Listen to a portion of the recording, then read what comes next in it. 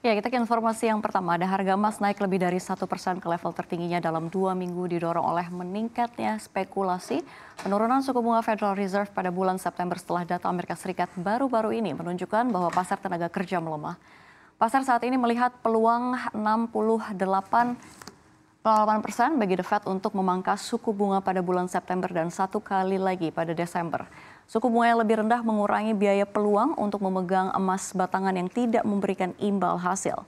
Pedagang logam mulia independen yang berbasis di York, Taiwan mengungkapkan logam mulia serta logam dasar menguat secara keseluruhan karena data ADP dan klaim pengangguran yang memperkuat narasi perekonomian yang melemah yang kemungkinan akan mengarah pada penurunan suku bunga pertama pada bulan September.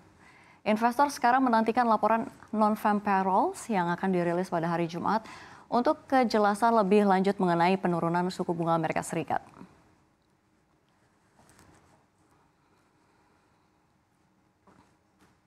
Kita ke informasi berikutnya. Hacker brand Chipper yang mengklaim sebagai dalang serangan pusat data nasional 2 memenuhi janjinya. Kunci data diberikan hari Rabu 3 Juli seperti yang disebutkan sebelumnya. Akun Stealth Mall mengungkapkan bahwa brand Chipper merilis pernyataan tambahan pada situs dark web. Isinya adalah menjawab tujuh pertanyaan populer, termasuk terkait alasan serangan pusat data. Brand Chipper menegaskan keputusan perilisan kunci dibuat sendiri, tidak ada paksaan dari layanan khusus dan lembaga hukum. Brand Chipper memberikan alasan serangan pada PDNS 2. Pusat data disebut sebagai industri teknologi tinggi dengan investasi besar dan harus diketahui semua orang. Geng tersebut juga mengklaim serangan sangat mudah, hanya butuh sedikit waktu membobol data serta enskripsi data yang diklaim besarannya mencapai beberapa ribu terabyte. Menurut Brand Chipper, perundingan mendapatkan jalan buntu ini disebabkan pihak kedua mengalihkan pada pihak ketiga, tapi tak disebutkan siapa pihak yang dimaksud. PDNS 2 diketahui diserang ransomware sejak Kamis 20 Juni. Sebelumnya sejumlah layanan publik lumpuh, termasuk imigrasi karena berdampak serangan tersebut.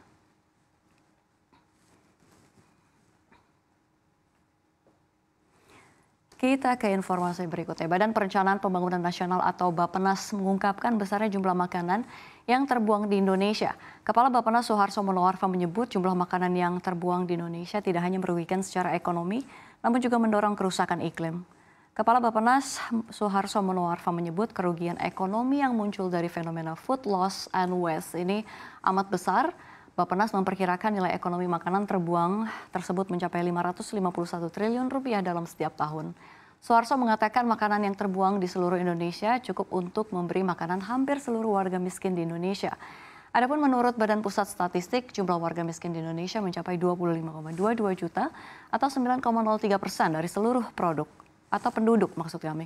Bapenas mencatat Indonesia menepati urutan pertama negara di ASEAN untuk urusan membuang makanan. Jumlah sampah makanan di Indonesia mencapai 20,94 juta ton pada tahun 2021. DKI Jakarta tercatat menjadi provinsi yang paling banyak membuang makanan. Hal tersebut terlihat dari data jumlah sampah makanan yang diproduksi oleh masing-masing provinsi setiap tahun. Warga DKI Jakarta rata-rata menghasilkan 281 ribu ton sampah makanan setiap tahun. Sementara Banten ada di posisi kedua dengan jumlah sampah makanan mencapai 172 ribu ton dan Jawa Barat berada di urutan ketiga dengan jumlah sampah 166 ribu ton.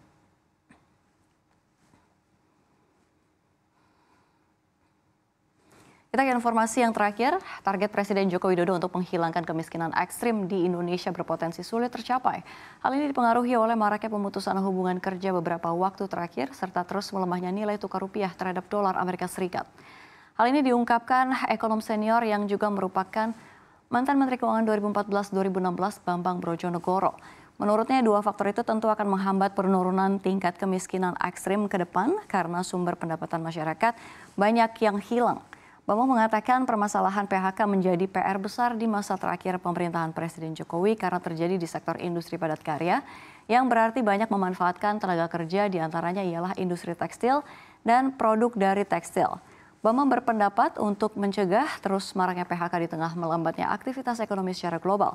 Pemerintah Indonesia harus memperbaiki regulasi proteksi iklim usaha di negara dalam negeri dari gempuran barang-barang impor yang lebih murah dari negara asing.